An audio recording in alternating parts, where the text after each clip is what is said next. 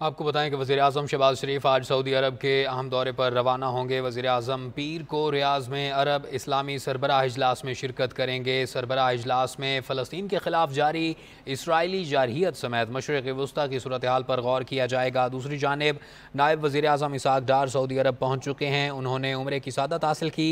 Isaac डार भी ओ आई सी वज़रा खारजा अजलास में शिरकत करेंगे।